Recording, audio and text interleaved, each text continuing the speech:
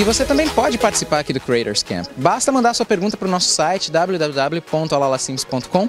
Manda lá sua pergunta, as melhores vão ser selecionadas e a gente vai mostrar aqui para os criadores do jogo.